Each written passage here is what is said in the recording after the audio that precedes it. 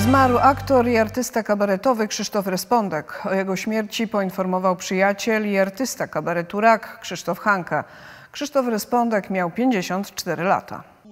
Pochodzący z Tarnowskich Gór artysta przez wiele lat występował w kabarecie Rak. Informację o jego śmierci zamieścił w mediach społecznościowych Krzysztof Hanke, współtwórca formacji.